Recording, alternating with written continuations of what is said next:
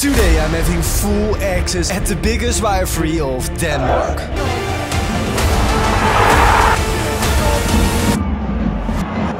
Imagine facing your neighbor in the city for the fifth time this year. But this time the league title is on the line.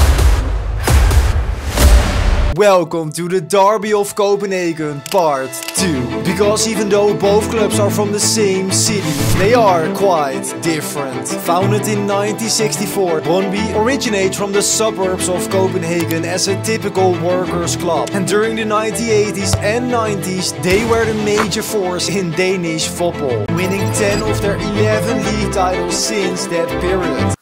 Can you even imagine what happened in the years after? When it was only the year 1992 when FC Copenhagen emerged from the two clubs, KB and B1903, which was quite a successful move, because years of success followed with a total of 15 league titles, supported by more local fans concentrated within the city. Yet the biggest difference is ideological, with Brøndby working its way up since its existence, whereas FC Copenhagen just came in being at the start more firm than a club. However, over the last years, both fans are showing one of the best supports in Europe. And with both of them finally back at a derby, they will for sure show off. Because with only one point between the two clubs and only four matches to go in the Superliga, today is all or nothing. Let's go to Copenhagen.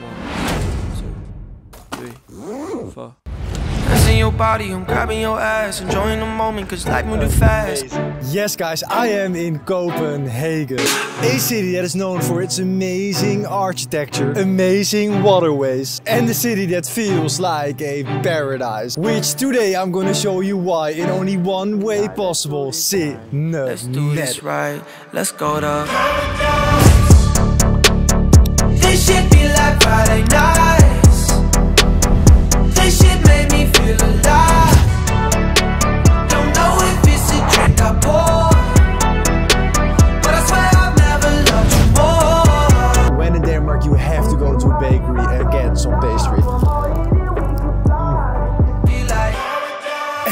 the beautiful city of Copenhagen. Now it's time to go to the derby where we have full access. Let's go.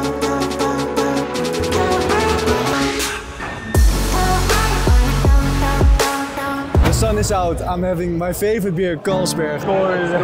what does this derby mean to you? Oh, a lot. The suburbs versus the city. Copenhagen always wins here. Yeah, unfortunately. That today you were gonna win. The home turf is always something special. I think it's going to be crazy. Pyro, Tifo, banners, big ups. Wow.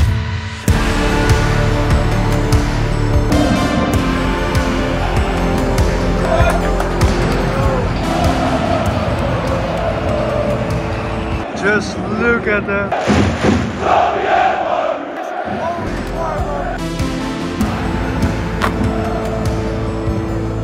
Honestly, I can't even remember that during the warm-up there was this kind of atmosphere. It is nuts here. When the Brøndby players went back inside, it was time for the first message from the Sydsiden.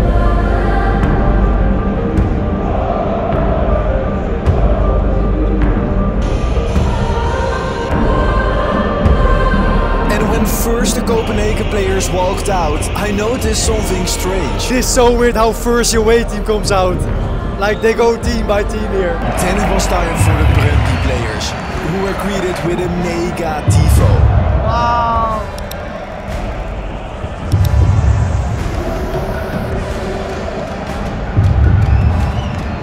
That's just football. Tifo responds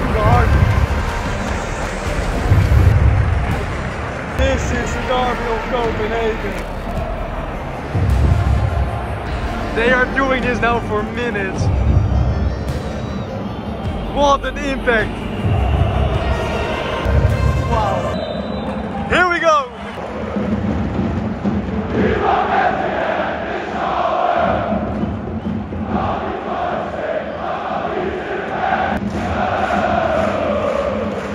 And also, of course, big respect to the away end. Also, FC Copenhagen has insane ultras with their Sector 12. What? Oh, How big it did it cross the line? The fans just don't stop singing. The atmosphere. Man, I love it. Trust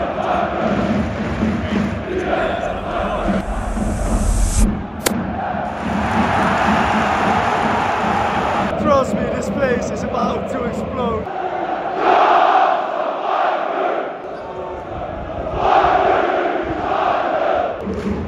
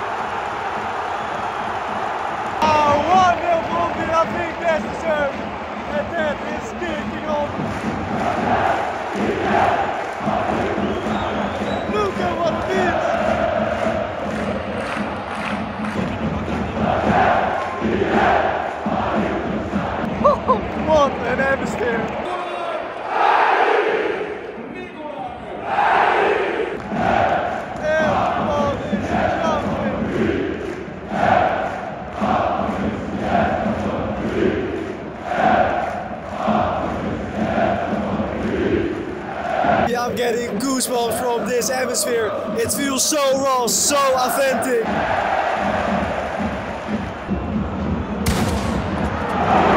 Honestly, Brøndby is on fire, and I think it's also due to their fans. Few moments later.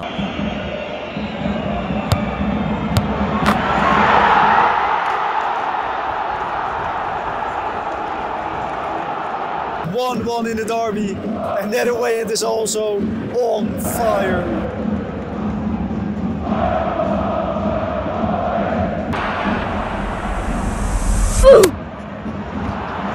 How on earth did the guy not pass the ball over? This derby is heated, also on the pitch. Here we go, second half.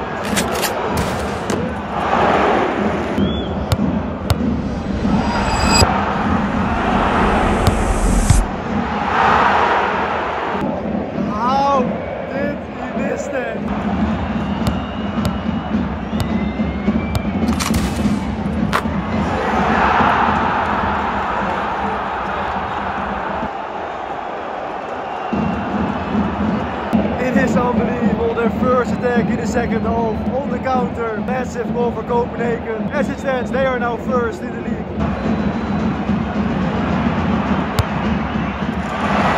Again, the keeper saves it. He is the one that makes sure Brøndby is still alive. Despite the score, the Brøndby fans are still giving their everything.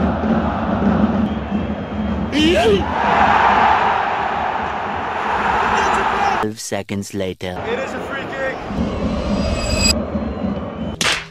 Eight minutes extra time. It is all or nothing. And now also a red card. Things couldn't get worse from Brøndby. Besides the season.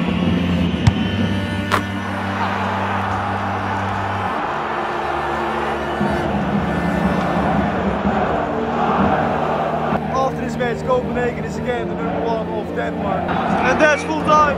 And that was another crazy derby experience. Are these one of the best fans in Scandinavia? Let me know in the comments down below. You decided to go to Brøndby versus Copenhagen.